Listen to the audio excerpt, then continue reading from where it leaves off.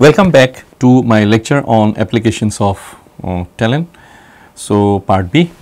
So, we have uh, discussed about some of the promises and potentials of applications of TALEN and uh, where it can be used uh, apart from being uh, cleaving DNA molecules uh, for example, as transposes and then for activation and repression and DNA uh, methylation and so on and so forth. So, let us continue our discussion uh, with tail uh, transposases. So, the designer DNA binding domain of uh, tail can be used to guide a transposon to a specific region of a uh, genome. Uh, attempts were made to develop tail transposes by fusing the tail domain with a hyperactive variant of the piggyback uh, transposes. The piggyback PB transposon effectively transposes between vectors and chromosomes uh, using a cut and paste method. The resulting tail transposes enables the user defined genomic area in the human genome to retrieve a cargo DNA in a directed manner. The tail based targeting performed reasonably effectively with more than half of the insertions occurring within uh, 250 base pairs of the tail target sequence and remained and, and the remainder uh, insertion events uh, occurring within uh, 400 4000 base pairs. However, this approach is currently not practical because frequency of insertions is uh, very low uh, 0.01 uh, percent or to 0.014 percent for the stably transfected cells. But the potential of the technology uh, can be displayed uh, through this uh, work. So, let us have a discussion on the tail recombinases. the tail DNA binding domain has been fused with site specific recombinases SSRs to achieve tailored genomic rearrangements. A hyperactive version of the catalytic domain from the DNA invertase GIN in is N-terminally fused to a tail DNA binding domain to form a tail recombinases or tailors. So, you can see here the gene which is being fused to the N-terminal of the tail and these uh, tailors are usually utilized in pairs to carry out uh, recombination. Apart from a DNA uh, binding domain, the recombinase domain has predefined sequence dependent catalytic uh, specificity. Therefore, a Taylor pair requires uh, at least uh, partially conserved core recombinase motif of around 26 to 40 base pair located between the two target sites. Flip tail recombinases. Catalytic domain of the tyrosine recombinase uh, flip can be fused with tail DNA binding domain to construct the flip tail recombinases. Like the tail gene recombinases, flip recognition target FRT or FRT like sequence consists of a degenerated 34 base pair motif, 4 to 5 base pair away from the two tail target sites which is important for the activity of the uh, flip tail. So, let us see the schematics of these uh, flip tail uh, recombination recombinases. In E you can see the general mode of target binding of uh, flip tail recombinases. In B you can see the flip tail and uh, tail flip arrangement of the flip and tail modules and the respective possible relative arrangements of the flip and tail recognition sequences and C is the schematic of the flip TAL uh, recombinations here. So, the flip molecule binds to the inner segments of the hybrid tar target sequence called the like sequence uh, while the TAL module to the outer uh, segments. The hybrid uh, flip TAL recombinases can be engineered by fusing the TAL module either to the C or N terminus of the flip module thus generating enzymes with the flip TAL or TAL flip architectures you can see in uh, uh, figure B. So, uh, this flip TAL uh, uh, you can see here the directionality and uh, this is the TAL and the flip is joined in this N terminus and here it is joined in the C, C terminus. So, you have flip TAL or TAL flip and this is a head to tail and this is a uh, tail to tail. And then uh, there is another kind of a arrangement here you can see uh, tail to tail uh, C terminus to N and then uh, head to head uh, in this head to tail orientation in this figure number 4. The flip TAL and TAL flip recombinases can be engineered to bind to two possible arrangements of the inner and outer segments of the target sequences head to tail and tail to head as shown in figure uh, B and they can be engineered either with a short linker that connects the flip and TAL modules or with a long linker. However, short linker likely forms compact structure which is uh, uh, preferable. So, here you, you see this is the short linker and this is the these are the long linkers these are preferred uh, uh, over these because these linkers will add mass and volume and, and the compact structures are uh, much more uh, preferred. So, we already spoke about this flip TAL recombinase construct.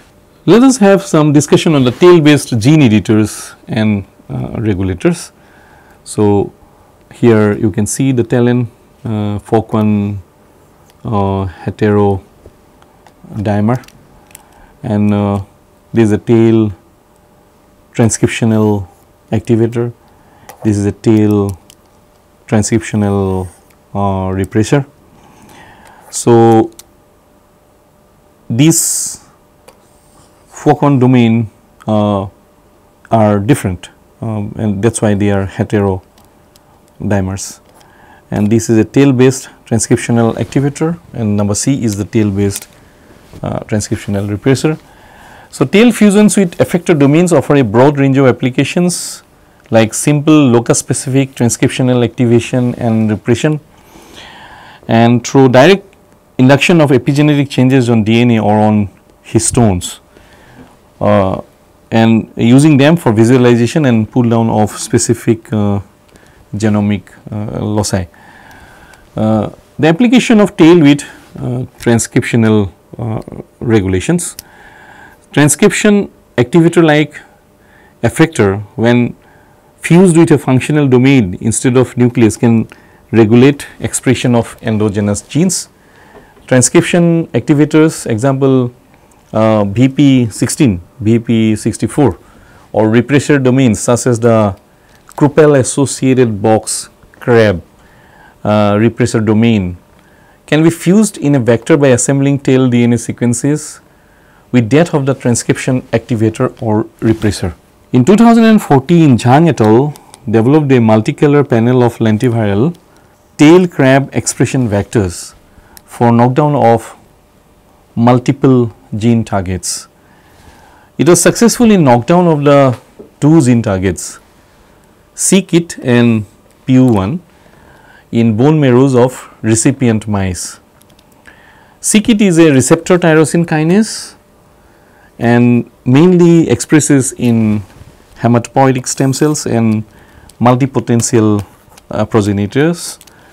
PU1 also called SFPI1 is a is an ETS familial transcription factor and expressed in uh, hematopoietic uh, stem cells as well as multipotential uh, progenitors. A multicolor panel of lentiviral tail crab vectors constructed by Zhang et al. replacing EGFP with the genes carrying cerulean, M. cherry iris blast or venous iris geosine expression cassettes was accomplished. The resulting vectors express four fluorescent proteins EGFP, cerulean, McCherry and Venus. In addition, uh, PLV, tail crab, M. blast and PLV tail crab Venus geosine vectors were equipped with two drug resistant genes blast and geosine. So, this is the construction of a multicolor panel of lentiviral vectors which we have discussed and these are the various fluorescent genes EGFP, CERU, McCherry and Venus and these last two McCherry and Venus constructs are also given these uh, drug resistance genes blast and iris and, and geomycin. And uh, when transfected into cells you can see the expression of these various uh, fluorescence uh, proteins. Let us look into the details of this experiment. So, in A you can see the maps of the tail crab lentiviral vectors containing a multicolor panel of fluorescent proteins. Tail is fused to the N terminus of the crab transcriptional repressor domain here. Individual fluorescent protein gene is fused in frame with crab via uh, the T2A uh, sequence. Drag resistant genes blast and geo are at the downstream of McCherry and fluorescent protein genes and separated by an IRS internal ribosome entry site sequence. Uh, EF1 alpha human elongation factor uh, 1 alpha promoter drives the tail crab fluorescent protein genes and drug resistant genes. Uh, resistance to blasticidin as georesistance to uh, geosine uh, IRS and internal ribosome entry site analysis is the nuclear, nuclear localization signal and these are the images of the uh, 293 T cells transfected with individuals uh, tail crab expression uh, vectors. Design of tail crab transcriptional repressor for knockdown of c-KIT and PU uh, 1. A DNA binding domain was designed to bind the indicated uh, target uh, sequence within a proximal promoter region upstream of the transcriptional start of mouse c-KIT and PU uh, 1 uh, genes uh, respectively and you have Uh, these construct already discussed earlier with CRAB and uh, EF1 alpha and this is the target gene uh, and this is the transcription start site. The inhibitory function of the design tail crab uh, constructs was tested by generating two luciferase reporters for c-KIT and PU1 promoters respectively. The luciferase reporter assay revealed that both c-KIT tail crab uh, and c-KIT tail to crab repressed the luciferase activity of the c-KIT reporter more than 20 fold when compared to the control tail crab uh, group. So, here in this uh, diagram you can see luciferase uh, reporters uh, driven by the promoters of mouse c-KIT and uh, uh, PU1 genes on top and bottom respectively. The inhibitory function of the design tail crab constructs were tested by generating two luciferase reporters uh, for c-KIT and uh, PU1 promoters uh, respectively. luciferase reporter assays revealed that both c-KIT tail 1 crab and c-KIT tail 2 crab repressed the luciferase activity of the c-KIT reporter uh, more than 20 fold uh, when compared uh, to the control uh, tail crab uh, group. Tails have also been used to make fusion proteins which can be uh, used for epigenomic uh, modification. So, fusion of tail with enzymes uh, which carry out epigenetic modification in an organism has been found to be quite promising. Uh, in epigenetic editing, uh, the majority of the editing we have been discussing till now are uh, genetic editing. We are now uh, using these TIL based approach uh, for epigenetic editing. Here the DNA sequences of the gene are not changed. So, there is actually no any mutation rather individual DNA molecules or histone proteins are modified with various chemical moieties to regulate gene expression. So, we have to know the difference between epigenetic editing and genetic editing. In genetic editing there is a change of the genetic sequence, but in epigenetic editing there is no any change of the genome uh, genetic sequence, but some modification either in the base or in the histone protein uh, takes place. And this can be done with tail based epigenomic uh, modifiers. Which are of two types uh, uh mostly um, based on the modifier uh, proteins. Uh, proteins that methylate or demethylate individual DNA nucleotides and proteins that modify histones by adding or removing methylation, acetylation, ubiquitination or phosphorylation, uh, phosphorylation signals. Tails can be fused with any of these uh, above epigenetic modifiers to carry out modification to regulate gene expression. So, here you can see uh, some schematics of tail proteins used for epigenomic editing. So, first we need to identify the region of uh, interest. This is the tail target sequence and this is the area of interest. So, the tail portion will bind to the tail target sequence and the modifier will act on the area of interest. So, you can see here some kind of modification being done on the DNA basis and here modifications are being done on the uh, histone proteins around which the DNA uh, wraps. So, we can create tail uh, targeted to regions of interest with attached effector. This is a tail protein and this is a TAT one. So, we can express the uh, tail uh, construct so, these TAT effector removes uh, DNA methylation. So, uh, the tail binds to this DNA tail target and these uh, modifier TAT1 will remove these uh, methyl group from here. Okay. So, this is being used for demethylation. So, other effectors like LSD1 can be used to make targeted histone modifications here. So, uh, H3 K27 is uh, AC or H3 K uh, for ME1 2. So, these are in brief the concepts of epigenome uh, editing. So, let us first discuss about the proteins that methylate or demethylate uh, individual DNA nucleotides.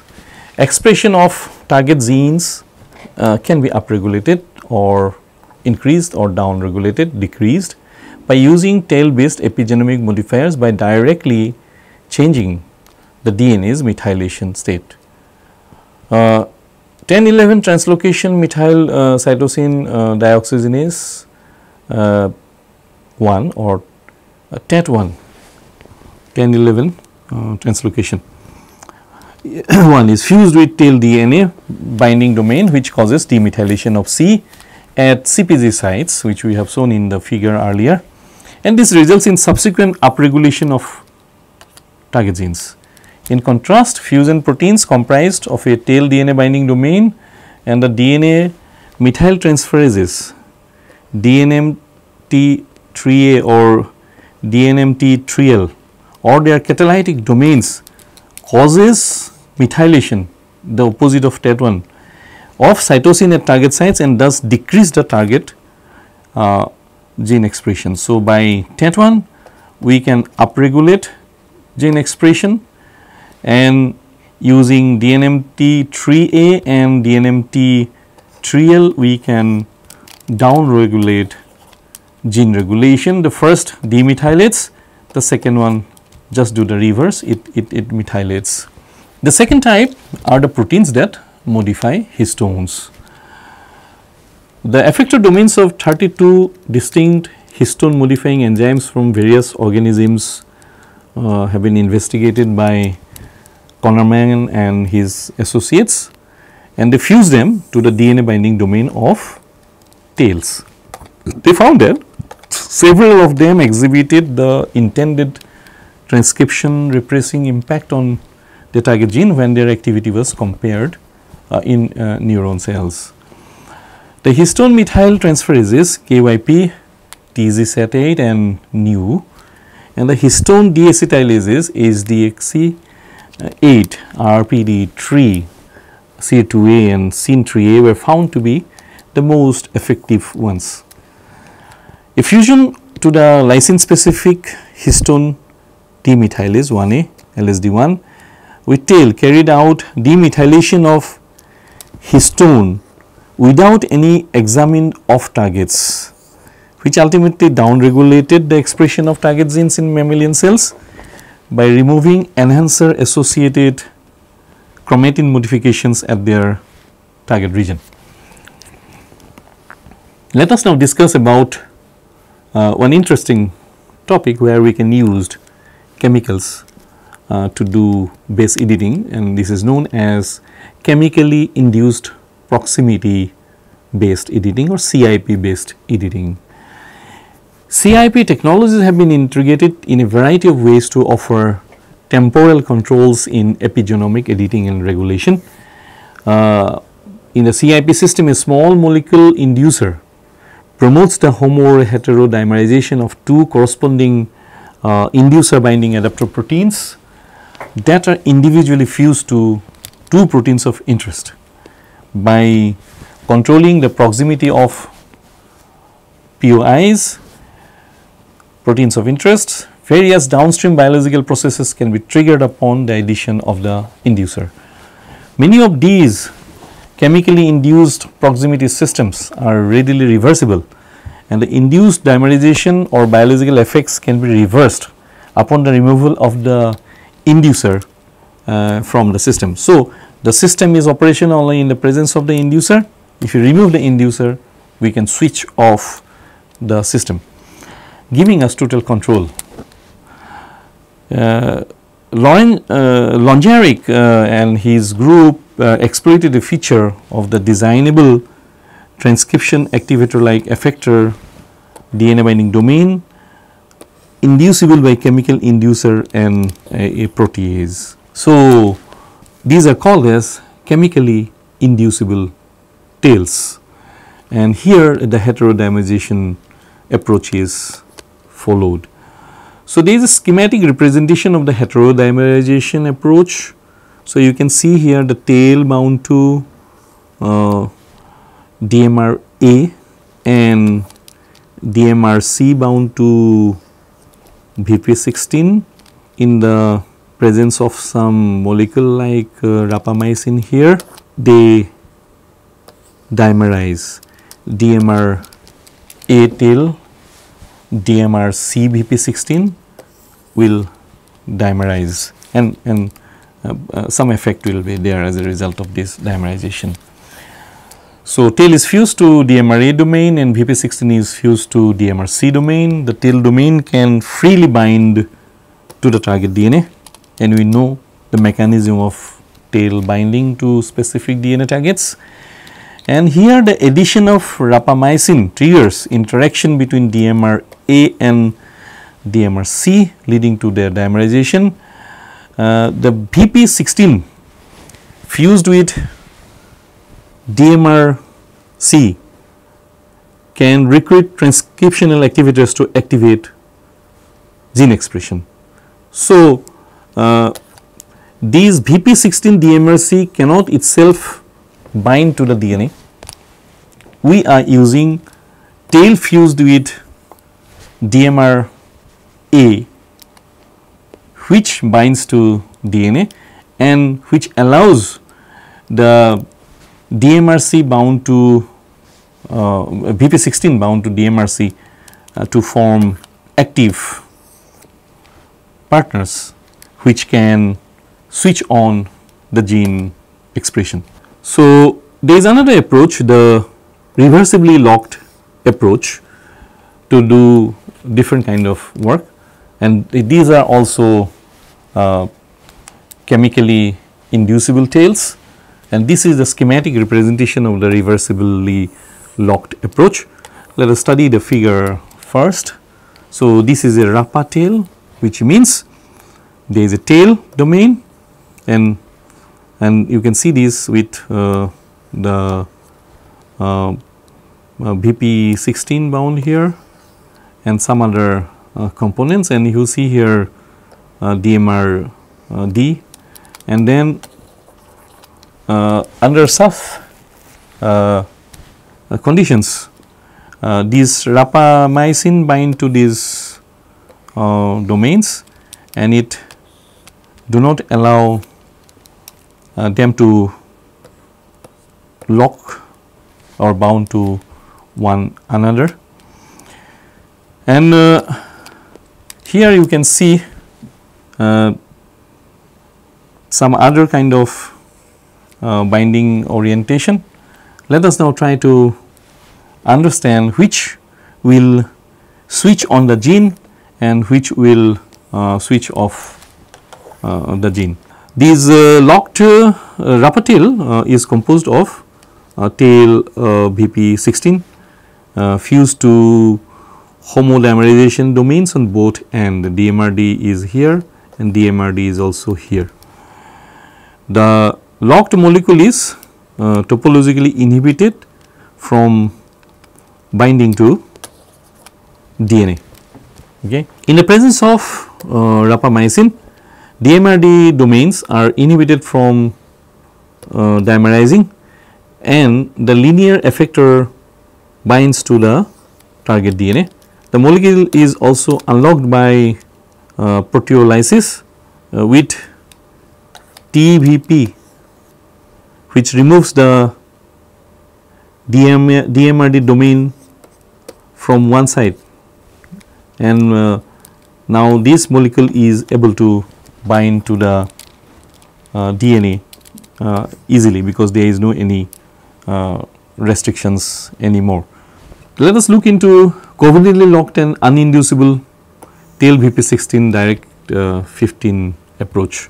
The symmetric representation of the covalently locked approach, the uh, seq tail is uh, composed of tail BP16 fused to intine uh, fragments that cycle, cyclize the molecule uh, through uh, splicing.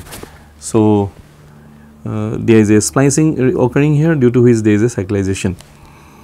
The locked molecule is uh, topologically inhibited from binding to DNA. TVP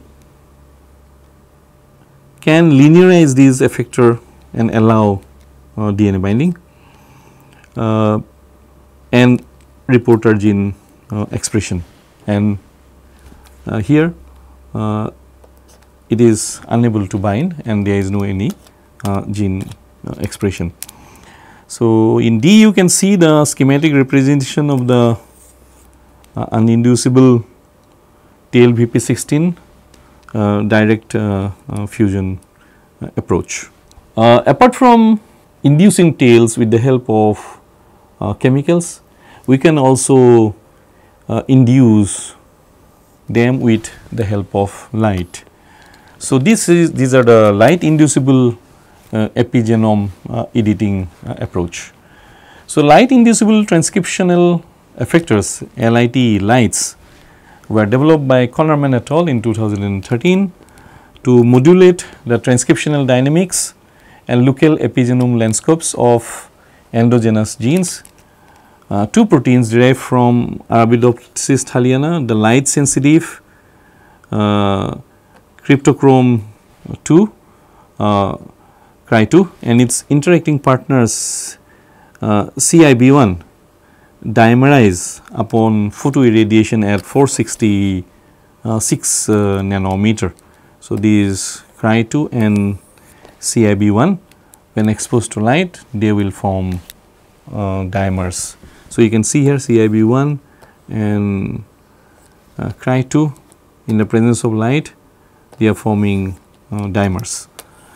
And here we are using uh, tail uh, to produce a tail Cry2 fusion protein and this dimerization of CIB1 and Cry2 is exploited uh, for epigenome uh, editing.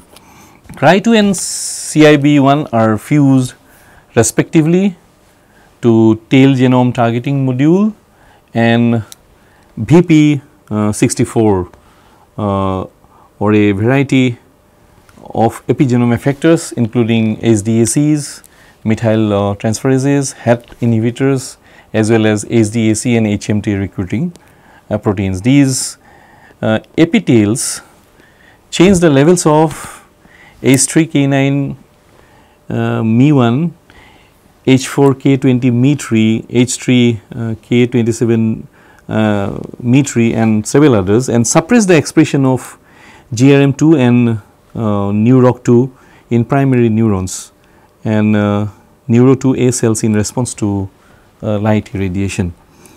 So, you can see in this figure that light induces the dimerization of Cry2 and uh, CIB1 to direct uh, epigenome uh, modifiers to tail targeting sites for uh, epigenome uh, editing.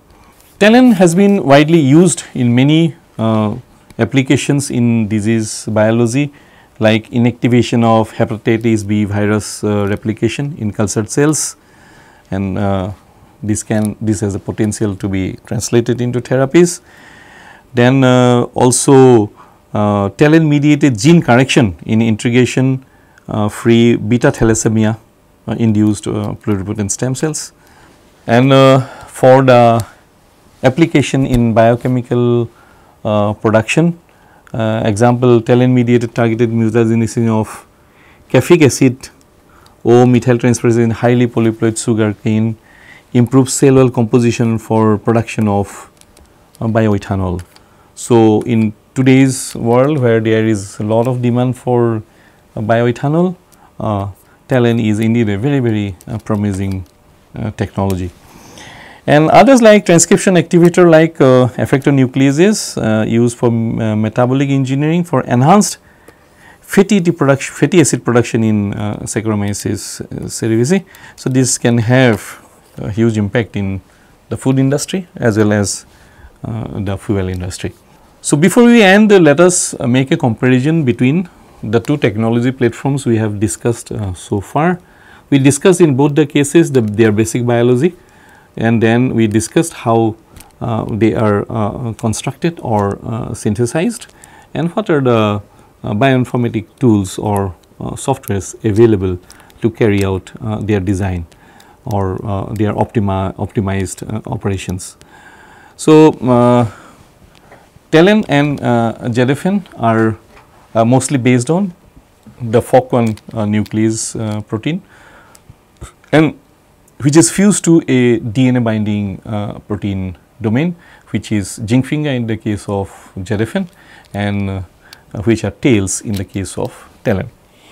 So, the difference of tails in Gedephen is the protein DNA code they follow which allows specific recognition between one tail and one uh, nucleotide.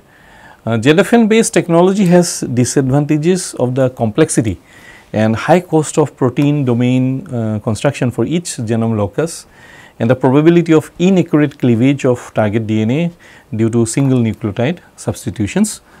Uh, can solve some of the problems associated with uh, However, the typical size for a cDNA coding encoding uh, a TALEN is approximately 3 kb, whereas a cDNA encoding a Gedephen is only approximately 1 kb. So, larger size makes talent harder to deliver and express a pair of talents into cells compared with ZFNs and uh, we have seen how uh, uh, large constructs uh, with uh, both the ZFN pairs can be loaded into a single vector and, and ensure uh, its, its efficiency and efficacy. Now, let us discuss in brief a little bit about the two technology platforms which we have discussed so far Talend versus ZFN and we know they are mostly based on the nucleus uh, called FOC1 uh, and a binding domain uh, which is tail in the case of Talend and zinc fingers in the case of uh, and both are proteins. So, these are mostly DNA binding proteins fused to a nucleus domain with which we can carry out genome editing. Briefly the difference of tails and ZFN is the protein DNA code uh, they follow uh, which allows specific recognition between one tail and uh, one nucleotide. So, here in ZFN there are 3 to 4 nucleotides recognition by one zinc finger and here uh, one uh, nucleotide by one uh, RVD. The ZFN based technology has disadvantages of the complexity uh, and high cost of protein uh, domains construction for each genome locus and the probability of inaccurate cleavage of target DNA due to single uh, nucleotide uh, substitutions. Uh, Talend can uh, solve some of the problems associated with ZFNs. however, the typical size for a cDNA encoding a Talend is approximately 3 kb, whereas a cDNA encoding a ZFN is only approximately 1 kb and we have discussed uh, how uh, both the uh, left or forward or right or reverse Talend um, ZFN can be loaded into a single vector and their co-expression can be ensured to increase the efficiency and efficacy uh, of, of the process. Uh, larger size makes Talend harder to deliver and uh, express a pair of talents into cells uh, compared to uh, ZFNs. So, other things are uh, as laid out in the field uh, you can see that uh, the target sequence 2 into 12 nucleotide and more this is little bit higher 2 into 16 both are sensitive methylations and then off target is quite high in, in ZFN which is a disadvantage and this is uh, low in Talend uh, which is a uh, advantage in spite of it being hard to deliver due to its uh, bigger size.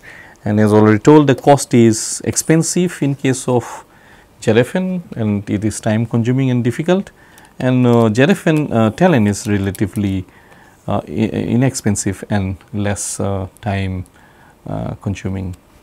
So, some of the references uh, with which uh, this lecture has been uh, prepared. thank you for your patient hearing.